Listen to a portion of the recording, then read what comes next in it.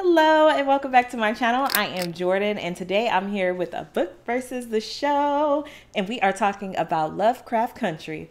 That's right, um, the novel by Matt Ruff as well as the show, the HBO adapted series, Lovecraft Country by none other than Misha Green.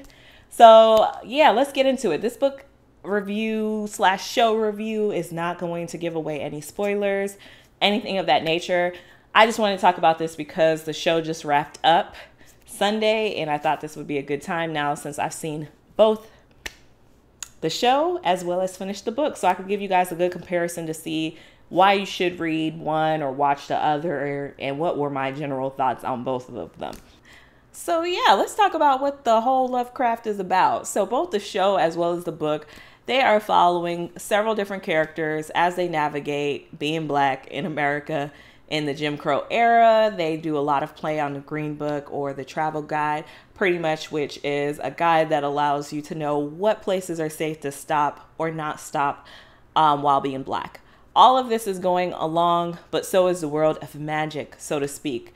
Um, where there's monsters, there's time traveling, there's haunted houses, there's all sorts of galore and galactic experiences that are happening throughout. Um, what I did think was interesting and pretty cool concept on both ends um, is the way that the book, as well as the show, emphasizes that even though there's all these monsters and all this magic and all this crazy stuff, that is not the imminent threat. The real threat is just racism, period. So I thought that was pretty interesting and cool, especially giving H.P. Lovecraft's history of being a racist. Also, what I thought was interesting is the fact of the book was written by a white man. I was a little bit like, I don't know.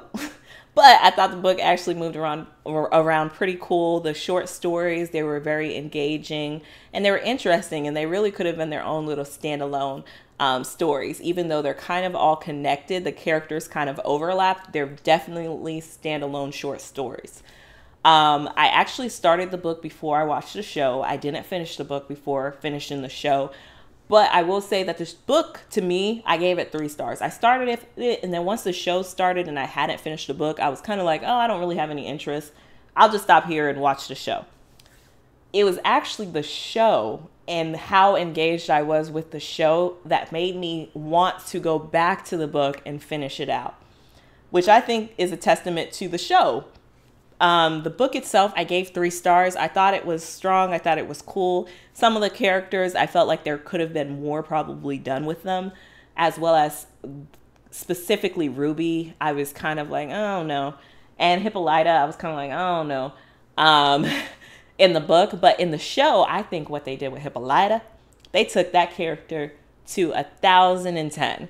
Um, I think Misha Green did amazing, took so many amazing liberties. Um, some of them were hits, some of them were misses, which we'll get into a little bit later um, on some of the areas that I think the show didn't do as good of a job. But I feel like the show really brought to life that black experience and that black flair in the sense of having the visuals. A lot of the visuals were so powerful, having a lot of the song selections and choices, just the way that it was adapted. I feel like it took the book to a next level, which I think shows or adaptations should do. I also thought some of the liberties, as far as their storylines, it was cool that it was um, switched up a bit. But in some cases, we even got completely new characters that were not in the book. So if you're going in thinking if I read the book, I'm going to know what happens in the show, you are not. You're going to know certain details. I think the show doesn't explain certain things that kind of, if you haven't read the book, could make it confusing for the viewer. And the book will give you more context, but the actual direction that these characters are going to take in the plot, the book is not going to help you with that because Misha Green going to do whatever she wanted to do and switch it up on you. And in some of those instances, I think there were wins, but towards the end of the series of the show, I will say I started to lose a little interest because some of the liberties started to get to the point where it was like, really, this wasn't as drawn out as I think the book was. So we could have just kept the same direction. Um, but, you know, here I am sitting on the couch watching, giving my little two cents. but the first few episodes, I mean, there were some of them that definitely have to be up for Emmys. I mean, they were like crazy, amazing productions, things that I will not get in my head. They could be movies where I could rewatch them. Yeah, that being said, some of the characters that were added to the show I felt served no purpose. One of the areas that pissed me off, I'm gonna be honest with y'all, pissed me off for real, for real, was what they decided to do with Yahima's character. They had me invested in a character and they did completely unnecessary, heinous violence towards that character. Pissed me the hell off. And what made it worse was this was a two spirit um, character. They didn't get to identify their own um, pronouns for themselves, but they could have been non-binary or trans and just knowing the violence against those people in real life these people in real life and for it to just be in the show and it almost not serve any purpose but to be like almost like trauma porn in a way didn't feel it didn't like it. I was keeping up trying to see how every people felt about this and misha green actually did acknowledge and say that she felt she handled that poorly. Like that was a miss on her end. She was trying to highlight the injustice and all of that, but the way she handled it was clearly poorly done and poorly executed. That's why it's important to have diversity on your set um, when you are telling stories of other, you know, um, pretty much marginalized communities. That's why it's important. So it kind of just shows, like, you know, sometimes you're trying to highlight oppression of others, but you're not doing it with care or with the same kind of eye that would be needed. Um, but in other areas, like certain characters that were added, I felt like added a lot to the story. So overall, I think Misha Green's adaptation and kind of her creative liberties were a win for the show for me and is what made the show so spectacular, especially Hippolyta. I cannot emphasize that enough.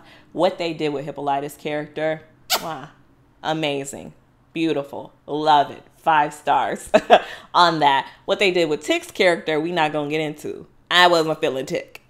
I wasn't feeling Montrose. I wasn't feeling a lot. but we're not going to get into those. You don't have to like the characters to feel like they still portrayed their character really well.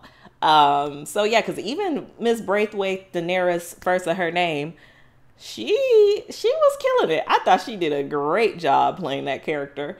Um, and I didn't like her. So, yeah, all in all, I'm getting all over the place and we're not going to get into the nitty gritty. But do I recommend the show? Absolutely. I do recommend the show. I gave it three and a half, four stars. The first few episodes, amazing. It starts teetering towards the end of the season for me. That was my opinion.